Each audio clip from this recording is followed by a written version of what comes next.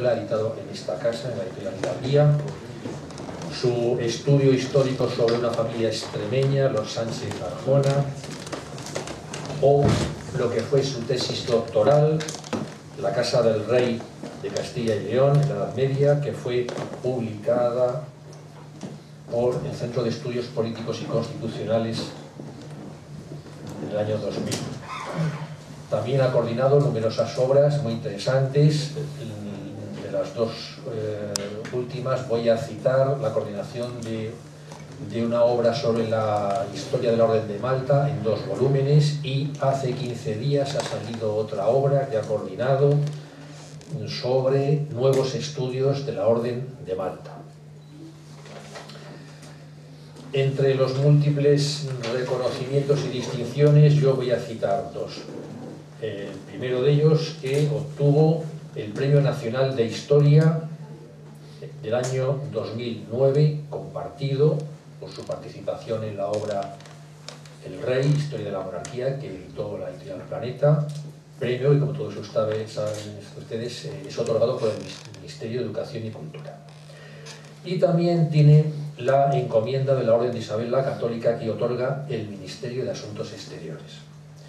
Bien, y el profesor Jaime Salazar nos va a hablar esta tarde con el sugerente título de Delirios de grandeza y tronos de fantasía. Vamos a ir cuando quieras.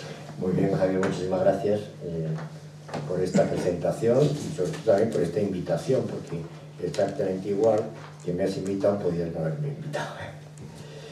Bueno, el tema del que voy a hablar eh, sigue la pauta de todo lo que estamos en estos momentos hablando. Hace un momento nos ha hablado el profesor eh, David Hernández de, de este precisamente el falsario bizantino. Yo voy a también hablar de ello porque lo bizantino ha sido un pozo sin fondo a la hora de que los falsarios y, los espíritus delirantes hayan ido allí a sacar sus eh, falsedades y sus eh, ditirambos eh, fal, falsamente históricos.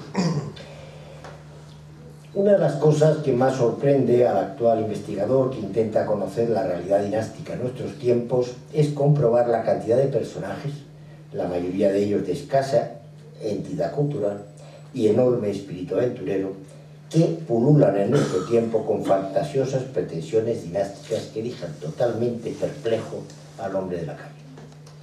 En una página de internet que está al alcance de todo el mundo figuran innumerables personajes que ostentan los más variados títulos de soberanía. Entre ellas, la Casa Imperial de Atenas, encabezada por un Eloi Ángelos Dioi, la Casa Imperial de Dobrinia, cuyo soberano dice ser Antonio II Julio César Tiberio Dobrinia, quien se titula a sí mismo como Gran Duque de Vladimir, emperador de Roma y Rusia, rey de Italia, príncipe de Bizancio, príncipe imperial de Roma, príncipe real de Dinamarca, rey de Rumanía, etc. La Casa Real de Cantabria y Covadonga, parece el principio más modesta, que rige Juan Roque Ciencia Muller de Rochón, la Casa Principesca de Altay con Hernán Alejandro Olano García. Estoy simplemente citando pretendientes todos españoles o, o, hispanoamericanos, por los, simplemente por los nombres, ¿no? Alejandro Olano García, quien se autodenomina a sí mismo como Su Majestad Serenísima, título absolutamente original, Kir Alejandro III Basileus di Carnia y Gran Duque de Altay, luego está la casa principal, principesca imperial de Tazmur, o principesca Casa de Chandor, conocida por otro nombre como Royal Imperial House of Orient, dinastía isáurica, que encabeza José Manuel Mosquera Castelo, gallego, autodenominado como Emmanuel III Basileus Basileón, o sea, rey de reyes, de Oriente y de Tazmur, dinastía de la Gran Siria. Así podríamos citar una lista enorme de eh, falsos personajes todos ellos adornados con grandes eh, órdenes, grandes condenaciones, la orden, de la doble corona teocrática de Tazmur, la sagrada orden de los querubines, la suprema orden de Odenato II Augusto. Bueno, termino la relación con esta otra que ya mencionó esta mañana el profesor Barrios, y, y, lo menciono con interés porque hace tiempo me presenta tuve el honor de que me presentaran a él en Zamora Se trata de la ceniza, fíjense ustedes la mezcla que hace este hombre, que aparentemente es un hombre muy corriente. La Serenísima Casa Condal y Baronal de San Marcelo, o Real e Imperial Casa Paleólogo, cuya tarjeta de presentación nos informa de que su soberano es don Sergio Jesús de San Marcelo y Vasallo, quien se denomina a sí mismo, lo copio textualmente, como conde de Épiro, descendiente directo de los carolingios, Flandes y de los visigodos, duque de Alba, duque de Aragón, duque de Cantabria, de Castilla, de León y de Valencia, emperador de Aquitania y Neustria, legítimo y verdadero gran maestre de todas las órdenes dinásticas de las Comneno, presidente de la Academia de Genealogía de Zamora, así aquí en esta Gran Bretaña, pretendiente legítimo al trono de Grecia y al crisantemo del Japón, príncipe de Provenza, príncipe imperial paleólogo, rey de Escocia, Inglaterra y de Zamora, virrey del Perú, vizconde de Barcelona, al Barcelona bajo un varón de Viana y un largo etcétera. Naturalmente estas casas soberanas mantienen relaciones dinásticas entre ellas y se intercambian sus condecoraciones, aunque a veces se rompen de forma abrupta, sin especificar las causas. Así vimos, por ejemplo, que Su Alteza Real Serenísima Domnus Zenón V, también conocido como Eduardo I, Dux Cantabronum Rex Artúrico y Galiciano en León Genesis, in Hispania Dei Gracia, pues rompe sus relaciones con todos, salvo, dice, bueno, vamos a mm, dice, decide, decide, romper, dejar de reconocer la legitimidad de muchos de sus colegas, pero con algunas importantes excepciones, como se especifica en su decreto imperial. Todo esto está en Internet, o sea, que está al alcance de todos ustedes.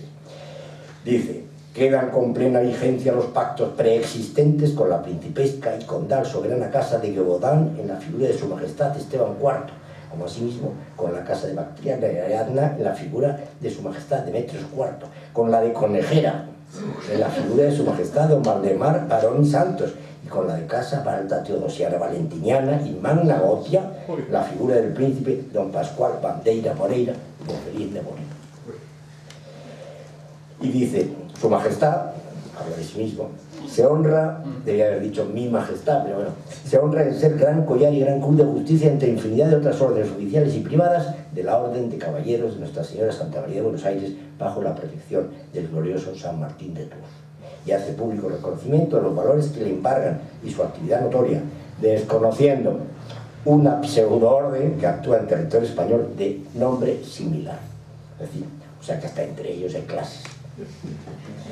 Hace unos años, apareció en mi casa una señora caribeña de clara progenia africana que me ofreció como obsequio para la biblioteca de la Real Academia Matritense de Heráldica y Genealogía una gruesa publicación de más de 700 páginas con el título de Edita de Borbón Parma, mi vida, y el profuso subtítulo de vejámenes y atropellos por ser descendiente de la histórica y emblemática pareja presidencial dominicana, el general don Horacio Vázquez Lajara y la poetisa y en su momento princesa de Asturias, doña Trina Moya de Vázquez. Y aclara sobre esta misma señora, que fue por otro nombre, su Alteza Real doña María de las Mercedes de Borbón y de Borbón, primogénita del rey don Alfonso XII.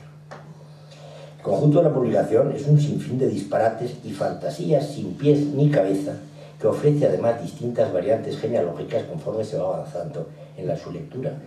Eh, se va enterando de entresijos de la dinastía y cada vez se va animando a hacer algún, alguna clase. ¿Y todos estos personajes están locos? ¿O son unos aprovechados que sacan de todo ello unas ventajas económicas? No vamos a afirmar nada sobre esta última afirmación porque no nos consta. Pero lo que sí es cierto es que tras la lectura de todos sus textos se pone en evidencia que sus proclamas carecen en absoluto de la más mínima mención humorística. Es decir, lo dicen todo en serio y que su nivel cultural, no nos atrevemos a llamarlo histórico, es ínfimo y que no se sostiene ninguna de sus afirmaciones. Pero es indudable que detrás se mueve mucho dinero yo lo compararía un poco como con el Palmar de Troya. ¿Se acuerdan ustedes? ¿Quién puede creer en lo del Palmar de Troya? Pues había muchísimo dinero detrás, porque había gente que lo creía.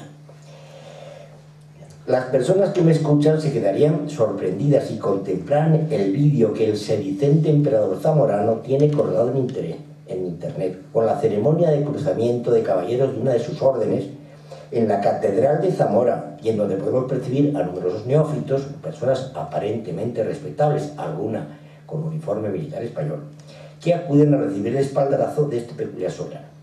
Mucho más asombroso, sin embargo, que el obispo de Zamora permita en su templo, para estas ceremonias, o avistar a la puerta de la catedral una sección de granaderos correctamente ataviados, con uniformes del siglo XVIII, que rinden honores al pretendiente y a sus invitados. Esto, lógicamente, no puede resultar gratis. Otros ejemplos nos vienen a la memoria y que en algunos casos nos llegan a, llevan a sentir una cierta compasión. Por ejemplo, por los años 60 existía un curioso personaje, pretendiente ante de España, que se hacía descendiente del malogrado infante, hijo de Fernando el Católico y de Germana de Foix. Según su relato, efectivamente, Fernando el Católico y Germana de Foix tuvo un niño, el infante Don Juan, que murió en Valladolid el mismo día que nació. Según su relato, este niño no había fallecido, sino que había sido suplantado por otro niño inclusero, ya muerto, con lo que se le dio por difunto. Sin embargo, el auténtico infante habría sido ocultado en casa de unos parientes del Valle de Neira de Rey, donde fundó la estirpe de los Trastámara en Aragón y en Galicia, con el apellido Fernández. La familia permaneció en el más riguroso incógnito por temor a la dinastía usurpadora, hasta que su descendiente, un tal Esteban Fernández y Fernández, encontró escondidos en un arca muy vieja de su casa el 15 de agosto de 1957 los documentos acreditativos de su genealogía. Según declaró ante testigos, el 7 de septiembre de dicho año, en presencia de don Pedro Arias Telo, alcalde de barrio en los mazos de Neira del Rey, los documentos originales, naturalmente, se han perdido. Del matrimonio de este Fernández con doña Teresa Núñez de Telo nació su hijo y heredero, don Jesús Fernández Núñez, brigada mutilado de infantería, esta es la profesión, bautizada en 1911, que casó con doña Licinia Vallejo, etc. Este señor, el 16 de mayo de 1966, elevó a las Cortes Españolas y a la Jefatura de Estado su pretensión a candidato al trono conforme a la nueva ley de sucesión. A partir de entonces, don Jesús Fernández adoptó la vida de Trastámara y enviaba sin navidades tarjetas de felicitación bastante cutres, por cierto, con el siguiente texto. Sus altezas imperiales y reales Jesús Licinia, herederos de las grandes coronas y diademas imperiales, casas reales de Trastámara, Suabia y Foix, le desean felices Pascuas de Navidad, un venturoso y próspero año nuevo y gratos Reyes Magos. O esta otra, bodas de plata. Jesús y Licinia contrajeron matrimonio como lo manda Dios y la Santa Madre Iglesia y el Concilio de Trento el día 26 de junio de 1940. 25 años de tranquilidad y paz, lo que se complacen en participar. Paz y patria. Y como nota a pie de página se nos informa de que Jesús I heredó de su augusto padre el archiduque, y heredó a su augusto padre el archiduque y serenísimo señor su majestad imperial Esteban el día 10 de septiembre de 1950. Lo más curioso es que este personaje creía realmente en la veracidad de su recién descubierta personalidad y no engañaba a nadie ni sacaba, aparentemente, no sacaba provecho ninguno económico de su falso rango principesco.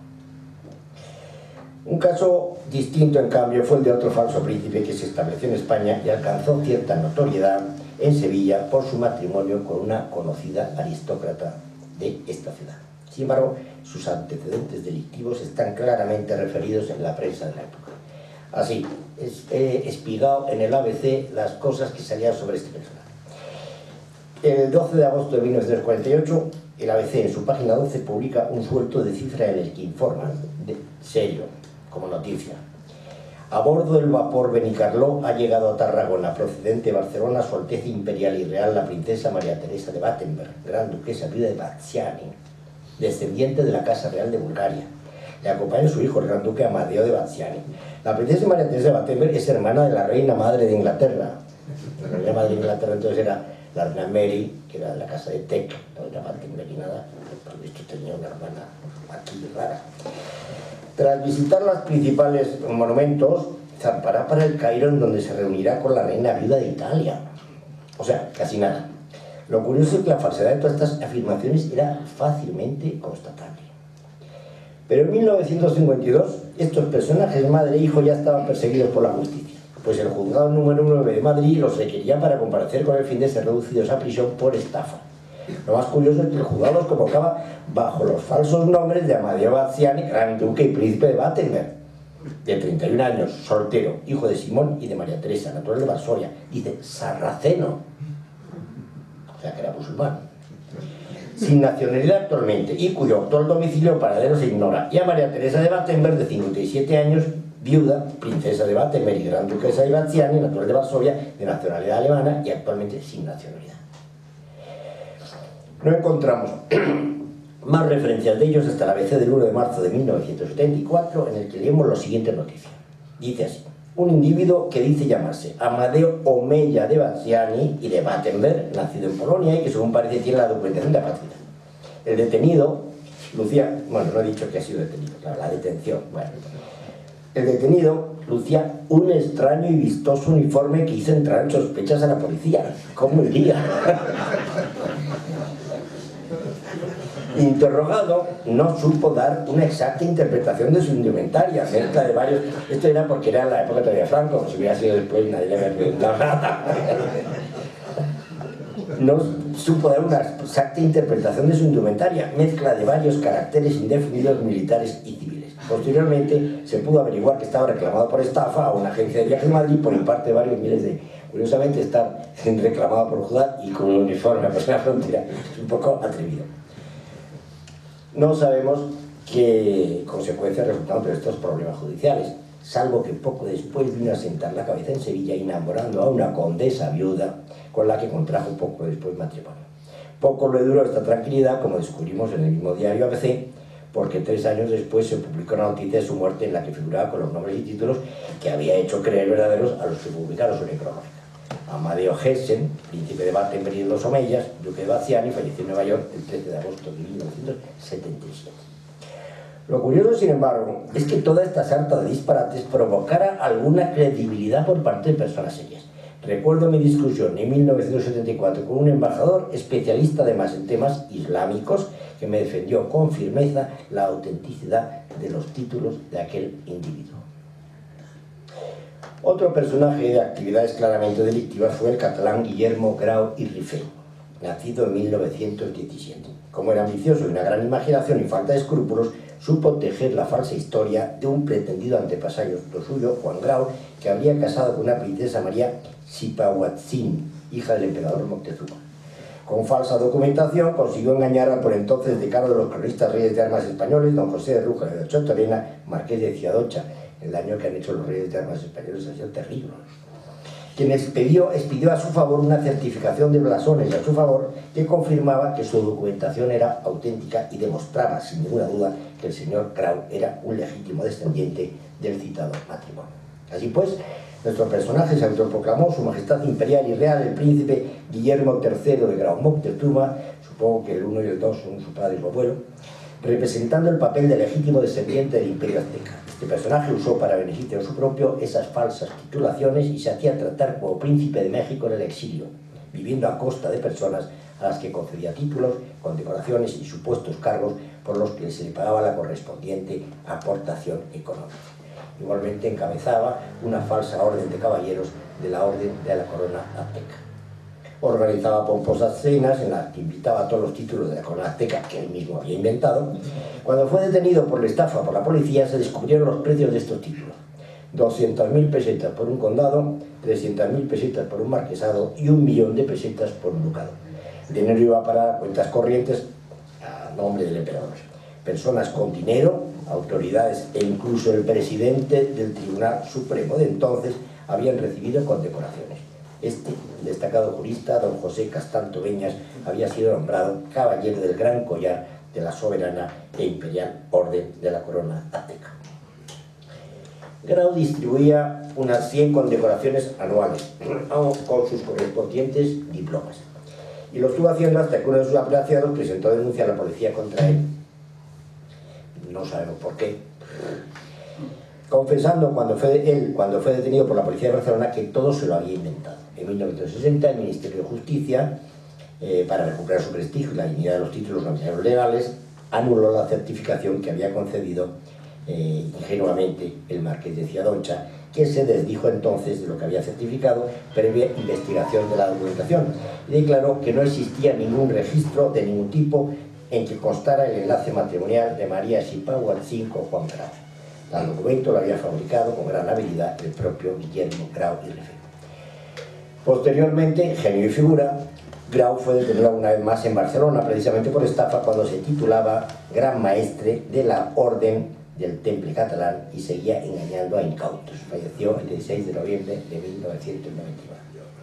Pero la lista de los fantasiosos y falsos pretendientes no acaba aquí, pues tal vez el más serio, hemos hablado antes de él, y el que consiguió una mayor aceptación fue un procurador de los tribunales llamado Eugenio Lascorz y la Bastida, nacido en Zaragoza el 28 de marzo de 1886 y fallecido en Madrid el 1 de junio de 1962.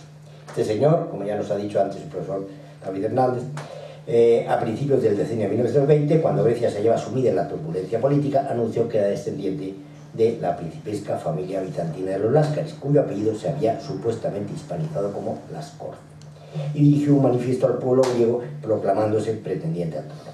Posteriormente asumió el título de duque de Atenas, otorgó a sus hijos otros títulos vinculados con la historia bizantina griega y se proclamó gran maestre de las órdenes de Constantino el Grande, Santa Elena de y San Eugenio de Trebisonda.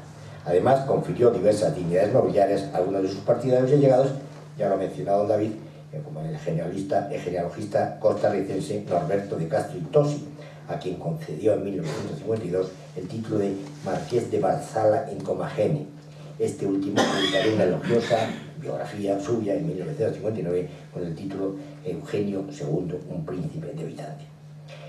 Las cosas llegaron tan lejos pues uno hubo personalidades de la época que no hubieran recibido alguna condecoración, recibido y aceptado, incluido el jefe del Estado de entonces, la revista Hidalguía se propuso echar por tierra todo aquel falso entramado.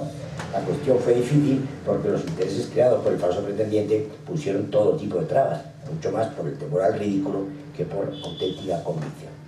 El marqués de Villarreal, el autor de la investigación, se las deseó para demostrar la falta de seriedad de todo aquel. Recomiendo a, los interesados la consulta de toda esta polémica en la revista Hidalía de 1954, donde se pone en evidencia el descaro y desparpajo de la falsa familia imperial frente a la contundencia documental del marqués. Por último, es imposible que no citemos en los tiempos modernos al falso príncipe Alexis d'Anjou Durasov Romanov Dolgoruk de Bourbon-Condé, que tanto dio que hablar en los años 90 del pasado siglo. En realidad se llamaba Alexis Brimeyer, había nacido en Bukavu, República Democrática del Congo, hijo de un ingeniero luxemburgués, Víctor Brimeyer, y de su esposa Beatriz Difonso. Desde su primera juventud sintió Brimeyer un afán desmedido por ennoblecerse y comenzó a llamarse Brimeyer de la Calchulea. Poco después comenzó a titularse Su Alteza Serenísima el Príncipe Kevin Hüller Abensberg hasta que una verdadera princesa Julia amenazó con demandar. Y se disculpó. En 1969 comenzó a difundir la noticia de que su auténtico abuelo materno era un príncipe Nicolai de Olgoruki, que había podido escapar de la Revolución de Octubre y que en el exilio, por razones de seguridad, había adoptado el nombre de Difonso. Pero la realidad es que el verdadero Nicolai de Olgoruki había sido asesinado por los bolcheviques durante la Revolución. Primeyer por entonces fue demandado por el príncipe Alexander Pavlovich Dolgoruki, que le acusó de estar usando su título con intenciones delictivas. El fiscal presentó un gran número de documentos fidedignos, entre ellos una falsa fe de matrimonio de su supuesto abuelo, el príncipe Dolgoruki, con su igualmente supuesta abuela, la gran duquesa María Nikolayevna Romanova, que habría sobrevivido a su asesinato en julio de 1918. El 24 de noviembre de 1931, Grimeyer fue condenado a la cárcel durante 18 meses, pero huyó a Grecia. Allí se presentó ante la policía y dijo que le habían robado su pasaporte. ¿Y cómo se llama usted? Dijo, Alexis Romanov Dolgoruki. Y expidieron su documentación a nombre de Alexis Romanov Dolgoruki, que documentación durante los siguientes 10 años usó para justificar su nueva personalidad. En 1939 Orimeyer vivía en España y comenzó a decirse hijo de un Basilio pretendido príncipe de Durazo. Alexis aseguraba que Víctor Orimeyer no era su padre, ya que su madre se había divorciado de él este año de su matrimonio y se había casado con Basilio el 15 de abril de 1947, de cuyo unión había nacido él en 1948, lo que contrastaba con la auténtica fecha de su nacimiento dos años antes. Muerto su nuevo padre, su madre se había vuelto a casar en 1950 con un tal Ferdinand Fabry, pero la realidad es que el mencionado Basilio d'Arjoux había muerto soltero, como aparece en su partida de defunción, lo que hace aún más difícil su nueva filiación. Pero nada la redón. Y en 1982 publicaba su libro Yo Alexis, bisnieto del zar, que firmaba con su Alteza Real el príncipe Alexis d'Anjou Rumanov Dolgoruki, duque de Durazzo. Como Alexis afirmó que su abuelo materno era como Alexis afirmó que su abuelo materno era el príncipe de y que este se había casado con la supuestamente no asesinada gran duquesa María Nikolayevna de Rusia y ya que su madre era su única hija, Alexis se afirmaba heredero legítimo del trono imperial ruso. En agosto de 1984, la madre de Alexis, la princesa Olga Beatriz Nikolayevna Romanovskaya Dolgorukaya, se casaba con el mayor general yemení Bruce Alfonso de Borbón, titulado príncipe de Condé, otro conocido falsario, lo que le permitía a Brimeyer añadir el nuevo nombre de Bourbon Condé, otra realizado como hijo por su nuevo padrastro. Verán ustedes que no tenía frenos Todas estas pretensiones no tuvieron en realidad ninguna consecuencia práctica, salvo que durante unos cuantos meses el falso Alexis fue uno de los principales protagonistas de la vida social madrileña, puesto que muchas personas no quisieron perder la ocasión de conocer al bisnieto del zar. Yo he visto para aquel entonces a más de una señora, incluso grande de España, hacer la revelencia protocolaria a aquel personaje que desprendía ya a primera vista un innegable tufillo a falsario. La cosa terminó mal. En 1984 sufrió una denuncia del duque Vladimir Romanov por uso de títulos falsos, otra por estafa del escritor Artemio Fallar y una denuncia por la venta simultánea a dos personas del mismo apartamento en Benalmádena. Email se había dedicado también a vender falsos títulos de nobleza, pasaportes diplomáticos, extendidos como gran maestro de una falsa orden ecuménica de San Juan de Jerusalén, de Rodas y de Malta, lo que le había producido unos ciertos ingresos. Esta falsa orden ha sobrevivido a su muerte, ocurrida en Madrid en marzo de 1995, pero algunos de sus cómplices siguen sorprendiendo a los incautos por su parecido nombre con la auténtica Orden de Malta. ¿Se acuerdan ustedes que hace un par de años apareció la famosa, entre comillas, Carmen Lomana, con el anuncio de que había ingresado en la Orden de Malta? pues era esta orden ecuménica. Por último, Menos importante que todos los anteriores, también conviene citar un falso pretendiente al trono de Navarra que apareció en la prensa en 1998. No tuvo excesiva importancia porque falleció poco después de manifestar su pretensión. Se trataba de un tal Pierre Desiré de la Motte Messemé, duque de Loudun, que se decía descendiente directo de Isabel de Albret, hermana de Enrique II de Navarra. No sé las razones por las que este individuo se saltaba los derechos de toda la descendencia de Enrique II formada hoy por miles de personas, pero su candidatura fue argumentada por un grupo de ocho individuos, ocho, encabezada por un tal Blas de Beaumont, sedicente duque de Beaumont, que se autodenominaban independentistas y legitimistas navarros. Como es lógico, ni el tal duque de Loudun figura en los actuales duques franceses, ni los Lamotte Messemé tienen lugar, ningún lugar entre la nobleza francesa subsistente.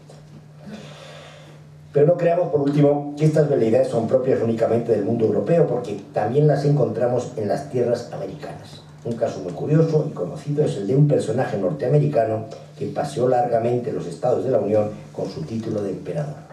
Se llamaba Joshua Abraham Norton, de origen judío británico, que en 1859 se declaró emperador de los Estados Unidos y protector de México, con el nombre de Norton I. La verdad es que no hizo daño a nadie y se limitó a lanzar manifiestos exhortando a sus compatriotas a ser justos, pacíficos y bondadosos. Todo ello le granjeó una gran simpatía, pues aunque sus decretos y proclamas rara vez eran tomados en serio, Norton siguió llevando una vida sencilla, aunque durante el resto de su vida comió siempre en los mejores restaurantes de San Francisco e incluso tenía un asiento reservado en los teatros de la ciudad. Cuando Norton primero entraba en la ópera, todos los demás asistentes se ponían en pie en sentido humor, y guardaba silencio hasta que se sentaba. En realidad se había convertido en una atracción turística más, y en 1870, en el censo de la población de San Francisco, figuraba con la profesión de emperador. Incluso durante un tiempo el pintoresco monarca acarició la posibilidad de casarse con la reina Victoria de Inglaterra, con la que llegó a cartearse a tal efecto. Norton I, emperador de los Estados Unidos y protector de México, murió de un ataque de apoplejía el 8 de enero de 1880. A su entierro asistieron más de 10.000 personas y su necrológica decía simplemente lo siguiente. El emperador Norton no mató a nadie, no robó a nadie, no saqueó la patria de nadie, lo que no se puede decir de la mayoría de sus colegas emperadores. Todos estos casos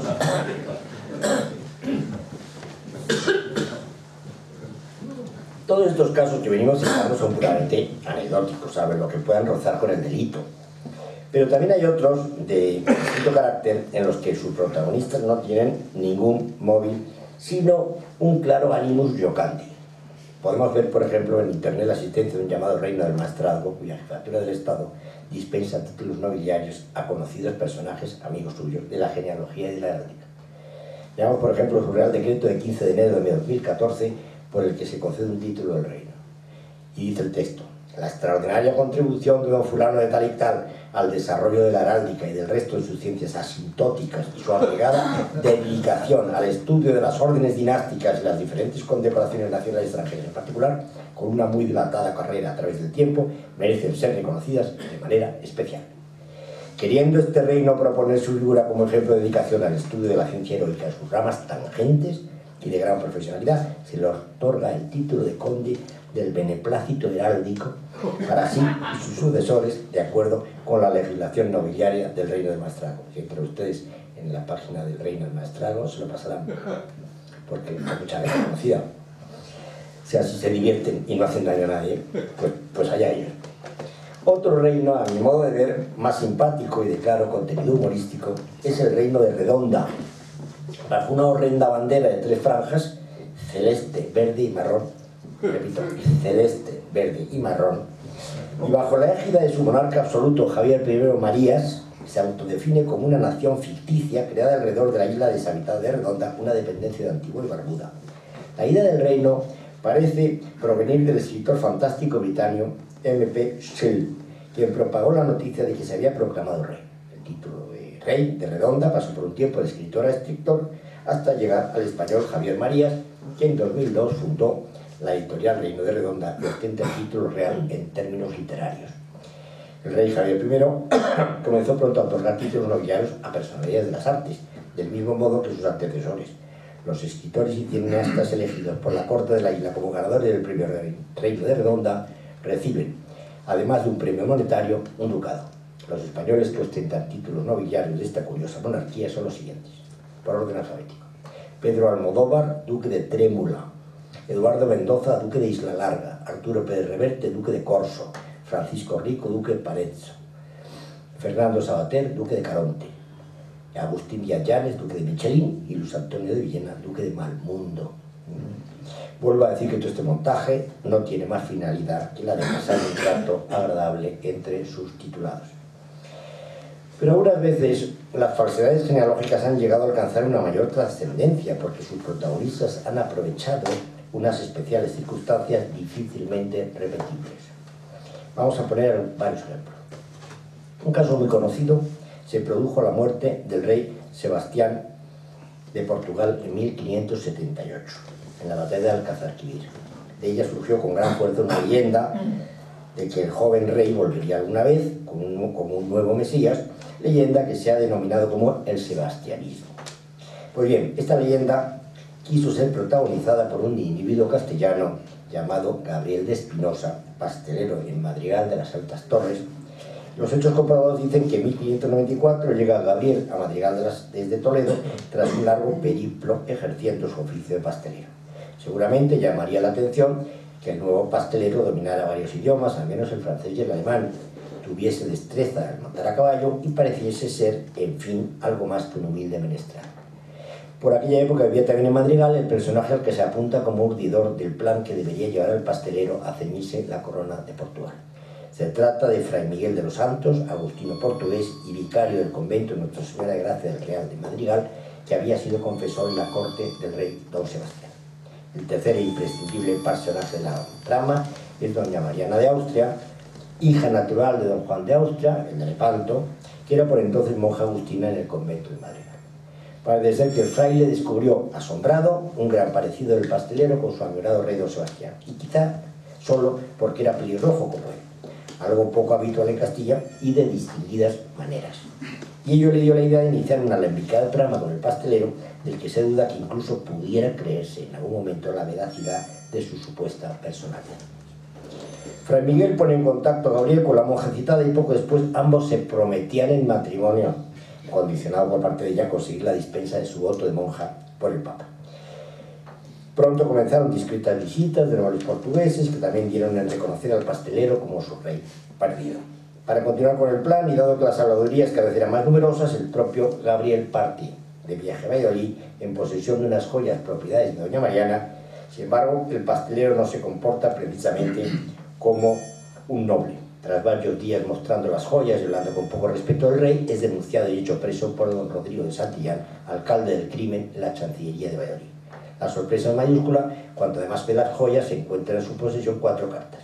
Dos de Fray Miguel, en las que le trata de majestad, y otras dos de Mariana de Austria, en las que le trata como su prometida. No es de extrañar que el asunto se remitiera a la corte, directamente a Felipe II, cuya reacción fue inmediata. Doña Mariana de Austria fue encerrada en sus aposentos y entonces cuando el fraile revela su fantástico descubrimiento. El entraño comportamiento del pastelero se debe a que en realidad es el rey don Sebastián de Portugal, el derrotado y desaparecido rey. Como era de esperar, se instruye un proceso contra los detenidos por suplantación de la personalidad del rey. Acusados de crimen de lesa majestad, ambos procesados fueran reiteradamente interrogados bajo tormento y finalmente se sentencia a Gabriel Espinosa a morir en la horca el 1 de agosto de 1595. Su comportamiento durante la ejecución estimula aún más la leyenda. El orgullo de su mirada, la tranquilidad ajustándose él mismo la soga al cuello, la cólera con la que citó a don Rodrigo, el hombre que lo detuvo ante el tribunal de Dios. Tras el ahorcamiento, Gabriel fue decapitado y descuartizado, exponiendo sus despojos en la fachada del Ayuntamiento de la Villa.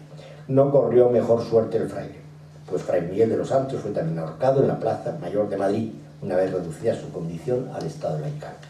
Tampoco el Agustino dejó, de contribuir al misterio, pues afirmó al pie de la horca que creía firmemente que el pastelero era el rey. Recordemos que la había conocido personalmente a don Sebastián. Fue decapitado y su cabeza enviada a Madrid. Mejor destino tuvo la monja doña Mariana, a fin de cuentas era sobrina del monarca, y ya en vida de Felipe III en 1611 sería nombrada abadesa de las huelgas de Burgos, la mayor dignidad eclesiástica que podía concederse en España a una mujer de la época hay pocas posibilidades de que el pastelero de Madrigal fuera otra cosa que un impostor seducido por el dinero fácil y de que su compinche Fray Miguel no encontrase en su parecido con el rey Sebastián la excusa perfecta para recuperar una posición política y quién sabe si arrebatar el reino de Portugal a Felipe II, devolviéndole la independencia a su país natal. La coincidencia de ambos personajes con una Mariana de Austria, engañada o no en Madrigal, no hace sino engrandecer esta serie de casualidades convirtiendo este episodio en uno de los más curiosos de la historiografía ibérica. Pero también es cierto que es de difícil explicación cómo un pastelero pudo en tres meses estar prometido a una sobrina del rey o qué fuerzas le impulsaron para mantener su actitud durante el proceso hasta el mismísimo pie del caballo. Veo que no voy a tener mucho tiempo más, pero bueno, también tendría que eh, citar a los falsos Dimitris, que es una historia, eh, Galamorte Iván el Terrible, se proclamó, el regente Boris Godunov se proclamó zar. Pero el Iván el Terrible ha tenido un niño, un zarevis Dimitri, que murió. Y entonces surgieron, empezaron a surgir falsos Dimitris, que llegaron a ser tres, y los tres llegaron a reinar en Rusia, que es una de las cosas más impresionantes. Lo, más gracioso es que el primero, porque parece ser que se parecía, el segundo, porque no se parecía nada, pero la emperatriz viuda y viuda del primero dijo que era su marido, y el tercero, tan falso como el anterior, era hijo de un judío converso y ascendió al trono porque los cosacos que merodeaban en la zona de Moscú eh, decidieron reconocerle como zar el 2 de marzo de 1612 y con la amenaza de venganza en caso de que no se reconociera fue jurado como zar por varias poblaciones. Dimitri una vez proclamado comenzó a una de disoluta, se mostró violento hacia los habitantes, pero un complot contra él le depuso del trono y fue ejecutado en secreto. Es cuando entonces los rusos eligen zar al, eh, primer Romanov. De aquí podemos saltar más cerca, todavía en el tiempo, a los terribles momentos de la Revolución Francesa, cuando guillotinados los reyes Luis XVI y María Antonieta, quedó como heredero del trono del nuevo monarca para los legitimistas su hijo Luis, conocido como Luis XVII. La misteriosa muerte de este en el Temple durante el terror en 1795 dio pábulo a todo tipo de conjeturas, ya que más de 10 individuos posteriormente se autoproclamaran ser el fallecido príncipe. Sobre todos ellos destacó de forma evidente Karl Wilhelm Naundorf, un relojero prusiano que sostuvo contra viento y marea su supuesta personalidad. Personaje enigmático y de inestable carácter, demandó judicialmente en Francia a varios príncipes de la Casa de Borbón para hacer valer sus reclamaciones, pero fue expulsado del país y se refugió en los Países Bajos. Allí murió en Delft en 1845 y sus hijos adoptaron legalmente el apellido Bourbon que aún mantienen sus descendientes. A Naundorf no le faltaban ciertas dotes de convicción y muchas personas de la aristocracia creyeron en la veracidad de sus afirmaciones. Uno de sus grandes apoyos fue la señora de Gambot, antigua doncella del Delfín, que creyó ver en él al auténtico Luis XVII. Pero hace unos 15 años el profesor Casimir excluyó a Naundorf como hijo de María Antonieta sobre la base de las secuencias del ADN mitocondrial de sus restos comparados con las secuencias obtenidas de los pelos de dos hermanas de María Antonieta. Luis XVII era, en efecto, el desgraciado niño enterrado en el templo. Por último, hemos de citar también otro caso más reciente, el protagonizado por la famosísima alemana Anna Anderson, fallecida el 12 de febrero de 1984, que fue enormemente popular en su época cuando afirmó ser la gran duquesa Anastasia de Rusia. La verdadera Anastasia, la más joven de las hijas de Nicolás II, último zar de la Rusia imperial, y su esposa, la zarina Alejandra, fue asesinada junto a su familia en Ekaterimburgo por los bolcheviques el 17 de julio de 1918. La localización de su cuerpo se desconocía por entonces. Anderson había sido internada en un hospital psiquiátrico en 1920 después de que intentara suicidarse en Berlín. Al principio fue registrada con el nombre de Fräulein Ubekant, Unbekannt, no, no sé, bueno, literalmente en Alemania, en alemán, señorita desconocida, debido a que rechazó revelar su identidad. Más tarde usaría el apellido Tchaikovsky y luego Anderson. En marzo de 1922, las declaraciones de que era una gran duquesa rusa atrajeron por primera vez la atención pública. La mayor parte de los miembros de la familia de Anastasia y los que la conocían, incluyendo el tutor de la corte, Pierre Guillard, dijeron que era una impostora. Pero otros estaban convencidos de que era Anastasia. Una investigación privada, financiada por el hermano de la zarina, el gran duque Ernesto Luis de Hesse-Darmstadt, realizada en 1927, la identificó como Francisca Swankowska, una obrera polaca con un historial de enfermedades mentales. Después de un pleito legal que se prolongó por varias décadas, los tribunales alemanes resolvieron que Anderson no había logrado demostrar que era Anastasia. Sin embargo, su reclamación alcanzó una gran notoriedad debido a la amplia cobertura que recibió de los medios de comunicación. Entre 1922 y 1968 vivió en los Estados Unidos de Alemania con varios de sus partidarios, además de permanecer ocasionalmente en sanatorios y asilos de ancianos. En 1968 viajó de nuevo a los Estados Unidos, poco antes del vencimiento de su visado se casó con Jack Manahan, un profesor de historia virginiano. Tras su muerte en 1984, el cuerpo de Anderson fue incinerado y sus cenizas fueron enterradas en el cementerio del castillo de Sion en Alemania. Después de la caída del comunismo se descubrió la ubicación de los cuerpos del zar, la zarina y sus cinco hijos y múltiples laboratorios en diferentes países confirmaron su identidad por medio de pruebas del ADN. Las pruebas realizadas en una porción de su pelo y en muestras médicas de sus tejidos demostraron que el ADN de Anderson no correspondía con los restos de los Romanov o de sus parientes vivos. En cambio, su ADN mitocondrial coincidió con el de Karl Maucher, un sobrino nieto de la tal Svanskowska. Científicos e historiadores aceptan, por tanto, que Anna Anderson era realmente Francisca Swankowska, una demente autosugestionada con sus delirios de grandeza y poseedora de grandes dotes de persuasión. Desde el punto de vista médico, ya voy a terminar, se define el delirio de grandeza como una enfermedad psicológica de la rama de la paranoia que consiste en creerse falsamente un personaje poderoso o importante y comportarse como tal. Este trastorno de conducta suele encubrir una idea inaceptable o un complejo de inferioridad. La persona sueña con una situación o con unos lujos fuera de su alcance. Suelen sucumbir a este tipo de delirio las personas con baja autoestima que necesitan creerse en una situación personal mucho mejor de la que se encuentran para poder soportar la vida.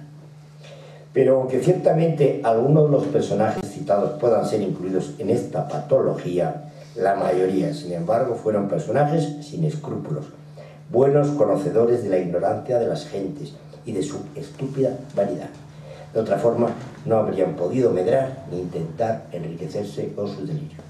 Pero tristemente, la historia nos demuestra que estos personajes u otros semejantes existirán siempre, porque algunos hombres siempre estarán dispuestos a ser engañados, si esto calma sus apetencias insatisfechas de sentirse más importante de lo que la vida les ha reservado y satisfacer con ellos su. Muchas gracias.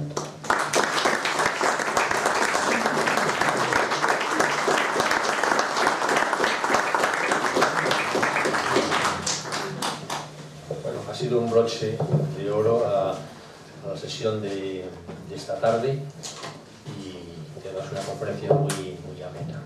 Eh, abrimos un turno de preguntas. ¿Alguna pregunta? Eh, bueno, primero, sí.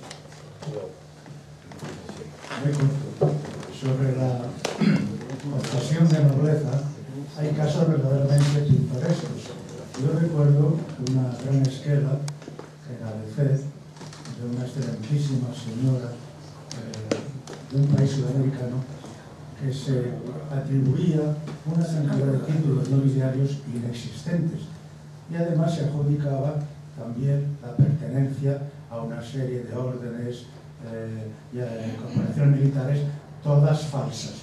Y terminaba diciendo, y propietaria de varios inmuebles en el barrio de Salamanca. Hay por ahí también...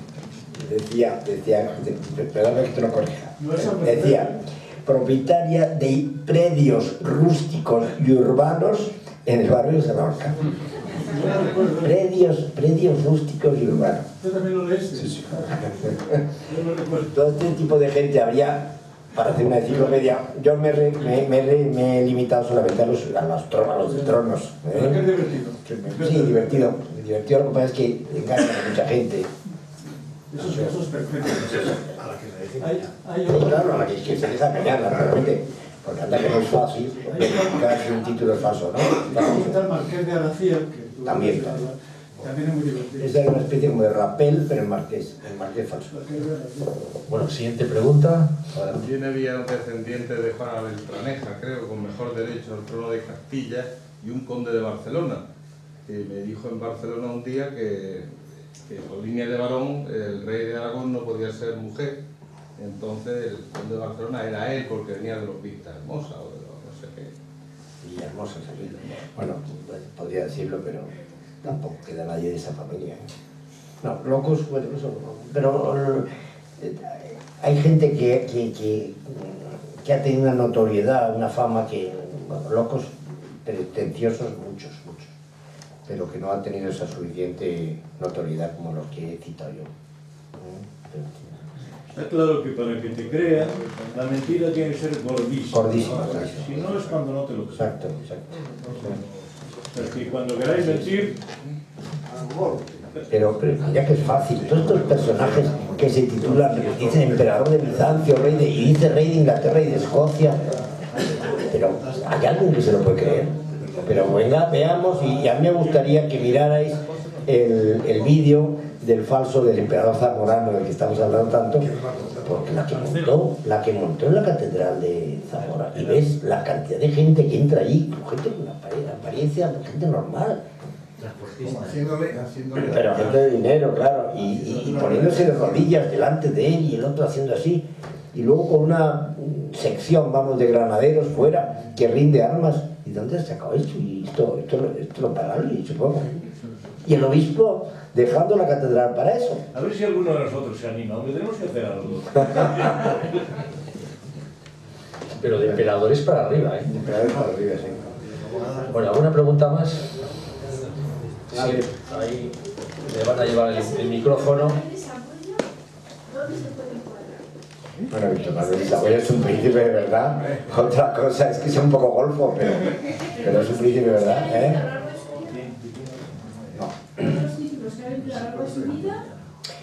Yo no lo creo, yo no lo creo que haya vendido, porque Víctor de Saboya tiene mucho dinero. O sea, es un señor con buena posición económica y él no necesita. Otra cosa es que haya firmado títulos, amigos, pero, pero no por venta, sino por favorecer a alguien o por... Manuel de Saboya. Bueno, yo he leído artículos en los que vendía los títulos por 10.000 francos suizos, 25.000 francos Yo no lo he leído, pero a mí me sorprende eso porque mm, generalmente los príncipes de verdad no venden los títulos. Pueden a lo mejor cometer alguna ligereza.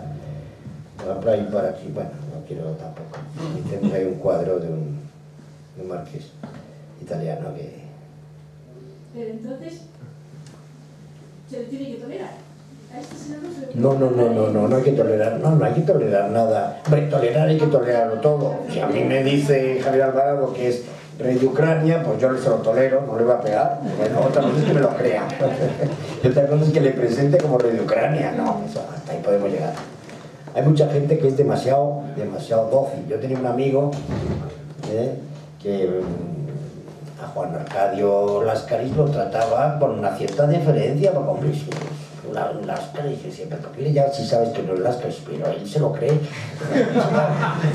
Que no, era el mismo que se ponía el pezón de oro, contaba. Porque le gustaban estas cosas, le daba más ilusión tratar a un príncipe de Bizancio que no a un señor que no. A mí en cambio me pasa todo lo contrario. A mí me da un poco de apuro. Que se piense que me lo creo. ¿no? ¿Alguna cosa más?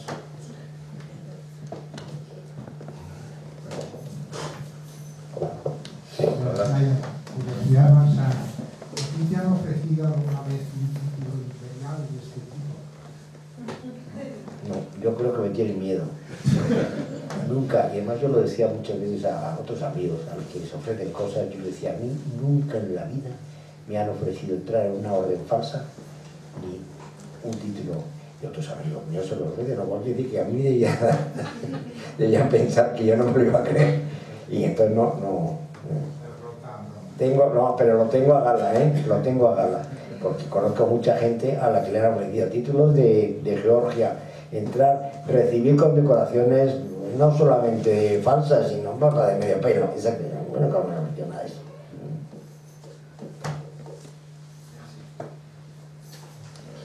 Pues si no hay ninguna pregunta más, levantamos la sesión y quedamos mañana a las nueve y media. Muchas gracias.